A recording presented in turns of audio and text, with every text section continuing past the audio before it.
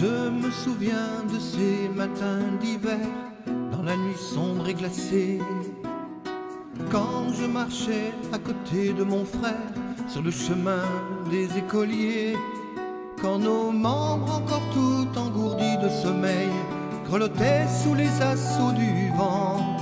Nous nous battions à grands coups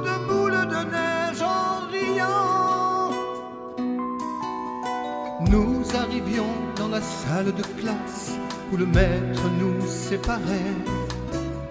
Nous retrouvions chaque jour notre place et l'on ne pouvait plus se parler.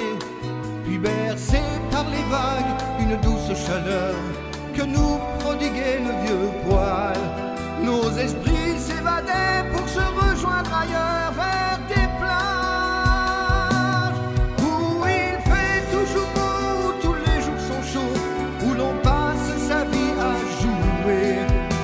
são.